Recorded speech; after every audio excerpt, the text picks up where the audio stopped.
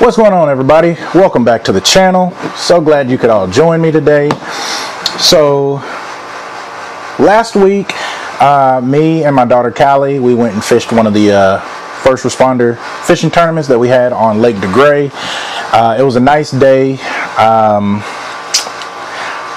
I, I just don't think that, well, apparently I didn't get in the right spots. So, we did get one.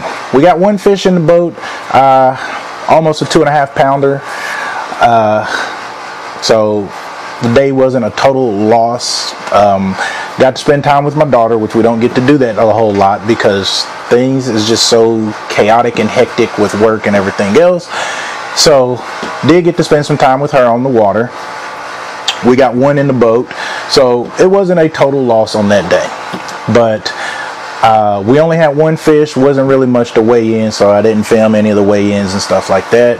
We got out there kind of late, so didn't really have an opening or anything like that. So uh, I just wanted to real quick uh, show you guys the, the piece of video uh, when I actually caught the fish. And it, as, it also goes into what I talked about on my last video on culling fish. Now, to clarify, when you cull a fish, it's when you already have five fish in your live well. And now you have to kick out the smallest of those five. And that's when you start to actually cull your fish. But I do show the process that I go through when I'm uh, when I catch a fish, especially in tournaments. I weigh them. I go ahead and put one of the cull tags on there because in my mind, you're always looking to kick that fish out even if that uh, two and a half pound fish was the biggest if I would have caught five. But I, I like to go ahead and put a cull tag on it because I'm always thinking every cast is going to be a fish and eventually I'm going to kick one of these fish out. So unfortunately we only got that one fish in the boat but I do show how I weigh my fish and I grab the cull tags and put it on there and then drop it down in the live well. So I hope you guys enjoy uh, watching the catch and everything like that. Uh, if you do, please smash that thumbs up button, drop a comment, and share the video. Also, guys, if you haven't subscribed to the channel, please subscribe. I am still doing my giveaways. We are, I'm at 197. Once I get to 200, I will be picking a winner and somebody is going to win a six gill, SixGill, my goodness, win a SixGill Hamar reel. I will be adding the ceramic ball bearings to it, and that'll be going out to somebody. And then once I get to 250, I will be buying a Monster Bass box.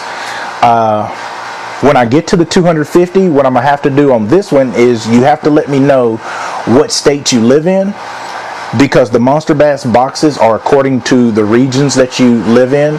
So let me know what state you live in. That way I can get you the right box with the right lures. So again, uh, everybody, thanks for watching. Subscribe to the channel. Uh, I think the last time I looked at my my analytics on my YouTube, only about 3% of my viewers are actually subscribed to this channel. So to those that watch the channel but you're not subscribed, I do appreciate you viewing the, the content that I put out.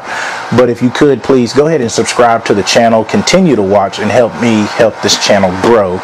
And I can only do that if you guys are subscribing to the channel as well as sharing the videos. So do your boy solid favor, subscribe to the channel. Uh, make sure you share the videos, smash the thumbs up button if you like the video, and drop some comments down there in the comment box and hope you guys enjoy the video coming up. Till the next time guys. Thanks for watching. See you in the great outdoors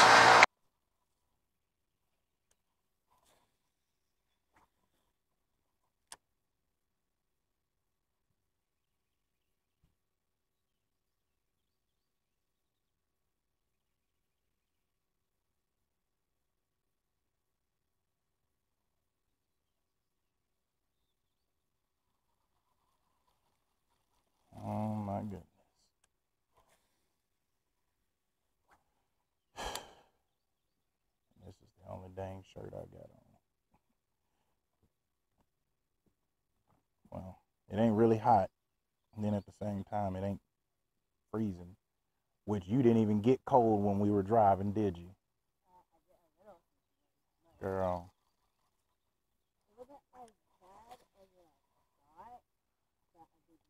It's only bad when it's actually when it's actually cold outside. Then when you start driving the boat is when it's bad because that cold wind and air is hitting you right in your face. This right here, that actually feels good to feel that hitting your face. Man, there should be something in this. I wish I could afford a forward facing sonar. Forward facing sonar. It's the sonars that everybody got on their boats now.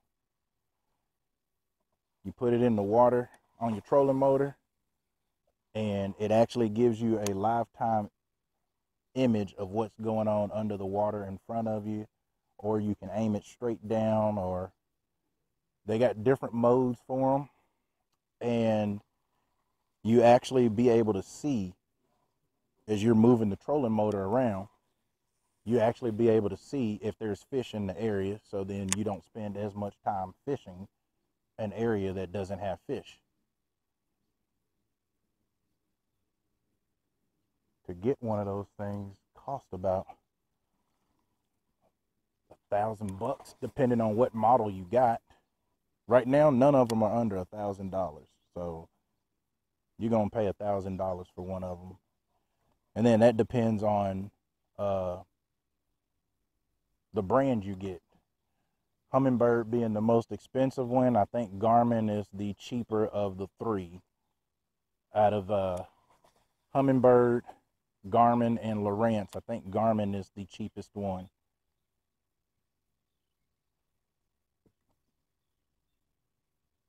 the bottom over here. Or maybe not.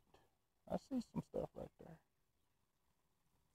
Saw a couple of little fish that was probably pecking at it. Probably not even bass though, so. Or was I just seeing rocks over there, the shadows of the rocks?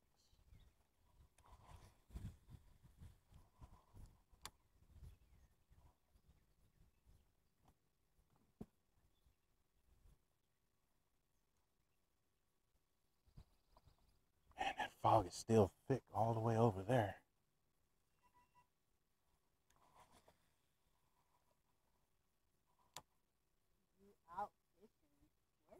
Who was that? Yeah, Oh, that's Reggie. Wow. Oh, I didn't know that. Um, I didn't know you could receive text messages on there. Well, my phone, since when I, the ActiveCaptain that Garmin has, so anytime they have an update to any of their graphs, if you have the app, active captain, you can download those new updates. See, I don't know if that was a turtle or a fish. You can you can download the app or download the updates and then I can go sit outside in the boat and update my graphs from my phone. And because I've done that, anytime I get a phone call or text message or email, it'll pop up on that graph, which is kind of cool because then I can read them without having to dig in my pockets to get my phone out just to read all that stuff. So Come on now. The only thing is, in order to respond to him now, I have to dig my phone.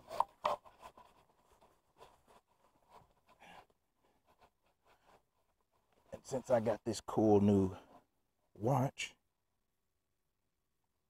I can read it. I just can't. I just can't respond off of my watch which I think the Apple Watches is the same way. You can read them, you just can't. Uh, how do you text on an Apple Watch? That thing ain't big enough to type. You um, you draw the letters. Oh, that would take too dang long if you had a long text message. Yeah, I just rather not. I like having the ability to read my text on my watch. And if it's important, then I'll grab my phone and respond to it. If it ain't important, mm, you just won't get a response. I might send you a picture or something. And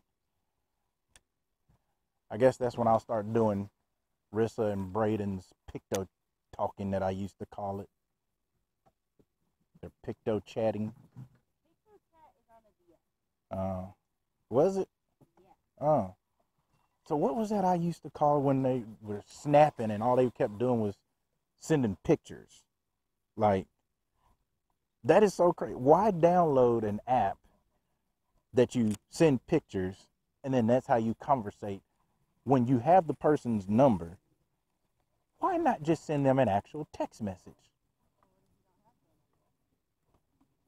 Okay. You should because most of your apps you have to communicate over the whatever your service is, which means you should have their phone number. So Snapchat, you can communicate or you can sign up with an email or a phone number.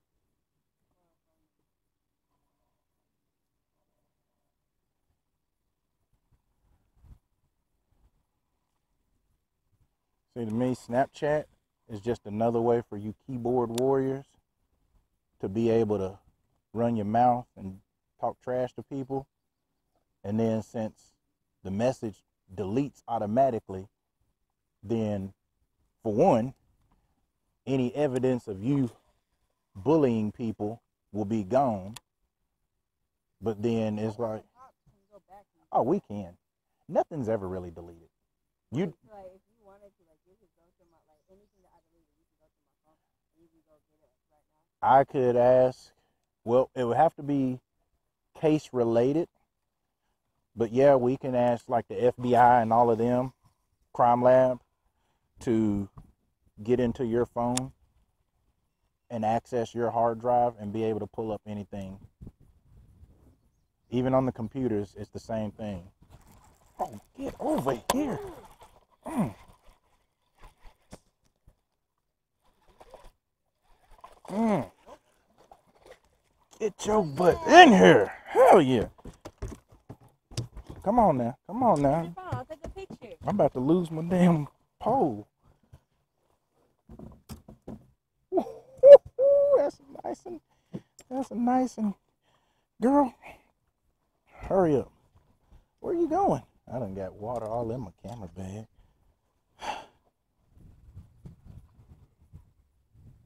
Got it. Okay. Now, um, I'm a good photographer. girl. Anyways, give me this. Cause here's what I need to do now. Um, back. Even though I already know what it is, but that one is for Fishbrain. Move, move, move, move, move.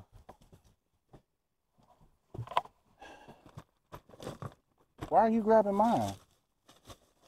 Get yours and keep fishing. No, you grab yours and keep fishing. Oh, behind you. Well, go.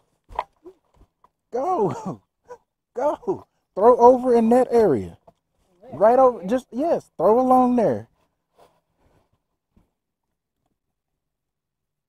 I didn't even feel him bite it. I thought I was hung on something there for a second.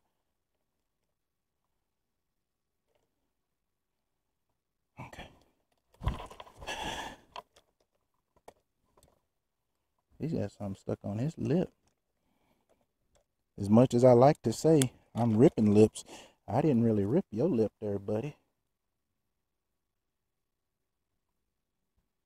240. I'll turn that on in live web. Hell yeah. What you think I was gonna do with him? I don't know. Maybe you wanted to throw him back. No, I don't.